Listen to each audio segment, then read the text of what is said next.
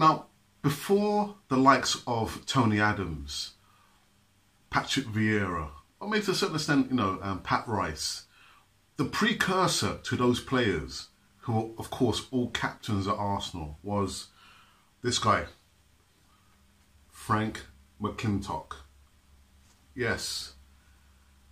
Real hard, hard geezer, hard player, a real leader of men. Frank McLintock, MBE, a former Scotland international and footballer. He began his career in Scottish junior football with um, Shawfield before earning a professional English First Division club at the time, Leicester City, in December 1965. He played in two FA Cup final defeats before he was sold to Arsenal for a record at the time for 80,000 in October 1964. However, he had a poor start in his career at Arsenal, though he did feature in two League Cup final defeats, but he found success at the club after being switched from right half to centre half in 1969. He was appointed as captain, who led the first European trophy in the Inter, Inter-City Fairs Cup in 1970. The following season, in 1970-71, he captained Arsenal to the double as they won the league and FA Cup he was sold then after after a few years in 1973 to Queens Park Rangers in June for a fee of 25,000 and helped the club to finish first division runners up in 1975-76 season. Oh, look, just just just a few years ago before he announced his retirement in 1977. In 1964, let's go back just a few steps. McLintock was signed again by Arsenal for a club record uh, 80,000. He endured a poor debut at Highbury, mishitting a back pass to allow Nottingham Forest John Barnwell, who actually, ironic, ironically enough, had been sold by Arsenal to finance McLintock's transfer to uh, score an easy goal.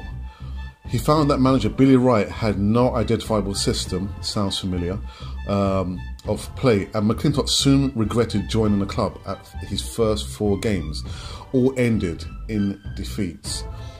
It was poor in the form in 1964, 65, 65, 66, and 66, 67. Yeah, the year I was born. Seasons, but remained a regular first team player as the Gunners struggled in mid table. However, um, new management duo of Bernie Mead and Dave Sexton began to slowly turn the team around, and Arsenal improved to ninth place by the 67 68 campaign. After Sexton's departure, Don Howe was promoted to first team coach and continued to improve the team's training methods. They reached the League Cup final at Wembley uh, Stadium in 1968, but were beaten 1 0 by, yes, Leeds, with Arsenal having an equalised goal ruled out after McLintock was adjudged to have foul goalkeeper Gary uh, Sprake. In the summer, he was named Arsenal's Player of the Year, and his final four-year contract came to an end. He was appointed as team captain uh, in 1968-69 season, taking over from Terry Neill, and signed a new four-year contract. For the second successive season, Arsenal reached the League Cup final as his opponent Swindon Town were from the third division. McLintock expected that he would finally secure a trophy on his fourth visit to Wem- Wembley. However, Swindon won 3 1 after extra time, and McLintock blamed an influenza outbreak that affected him and five other first team players on the day, and also blamed the Horse of the Year show for ruining the pitch. Oh, terrible.